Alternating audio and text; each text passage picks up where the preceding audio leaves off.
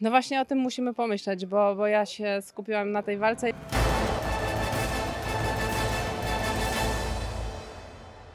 Jesteśmy na gali Prime Show MMA 4, jest z nami zwycięska Ewa Piątkowska, cześć. Cześć! Od razu widać wielki uśmiech, wielka radość po tym debiucie. No, spodziewałaś się, że będzie tak łatwo, bo to była totalna dominacja nad Anią Andrzejewską.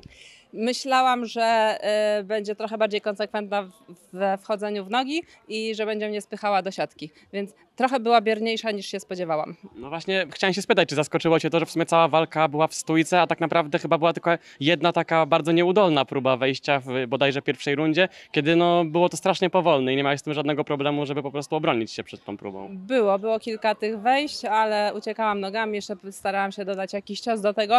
Y, No i wiesz, w sumie myślę, że Anna w pierwszej rundzie już poczuła, że ma mocny cios i to ją trochę spowolniło i, i zniechęciło do tych prób.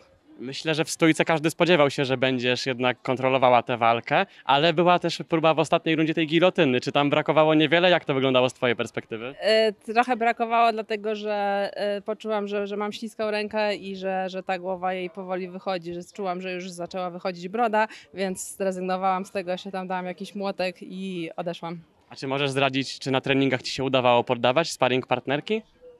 Tak, y, znaczy na takich waleczkach jiu-jitsu, bo tak naprawdę to nie zrobiłam żadnego takiego prawdziwego sparingu MMA. Y, robiłam osobno stójkę i osobno waleczki jiu-jitsu i na jiu-jitsu tak już y, ja sobie liczę i już poddałam 7 osób.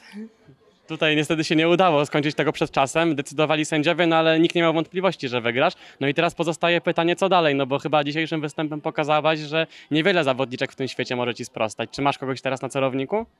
No właśnie o tym musimy pomyśleć, bo, bo ja się skupiłam na tej walce i stwierdziłam, że po walce dopiero e, pomyślę o kolejnych rywalkach, bo to, to moje wyzywanie do walki jak na razie e, nie za bardzo wychodzi e, z pięciu wyzwanych osób. Już okazało się, że cztery ze mną nie chcą walczyć, nie zawalczą i została jedna, która wiem, że ma na razie inne plany, e, więc e, musimy o tym właśnie pomyśleć razem z federacją. Bardzo bym chciała za, zawalczyć na, na tej marcowej gali, następnej gali Prime. A czy możesz zdradzić jakieś nazwiska z tych pięciu? Bo wiemy też, że nawet na łamach właśnie Super Expressu wyzywałaś Jasia Kapelę i Nitra i byłaś gotowa na taką walkę międzypłciową. Tak, i oni odmówili. Odmówiła Ewa Brodnicka, odmówił, e, Lil Masi zakończyła karierę. Marta Linkiewicz wiem, że teraz ma dwie e, inne propozycje i- pewnie zdecyduje się na którąś z nich. Ale Ewa Brodnicka pojawiła się dzisiaj na gali, była w narożniku ZUSie. No doskonale wiemy, że wasz konflikt rozgrzewał, rozgrzewa i pewnie jeszcze będzie rozgrzewał. I czy było jakieś spotkanie między wami za kulisami? Tak, e, mijałyśmy się na korytarzu, widziałyśmy się na śniadaniu, no ale nie, nie zamieniłyśmy żadnego słowa. Czyli nie rozpoczęły się negocjacje, żeby jednak namówić Ewę na walkę, na którą chyba wszyscy czekają, no bo to nie dość, że byłoby pewne wyjaśnienie sportowe, no to byłoby też pewnie gorąco na konferencjach i ogólnie w programach z waszym udziałem. No byłoby fajnie, ale ona wie, że no to by się za niej źle skończyło, więc naprawdę bardzo bym się zdziwiła, gdyby się zdecydowała na taką walkę. Nawet y, pomimo tego, że ma już trochę większe doświadczenie w tych freak fightach w MMA. Tak, ale ona nie jest tak twarda jak Andrzejewska i po tych ciosach by leżała.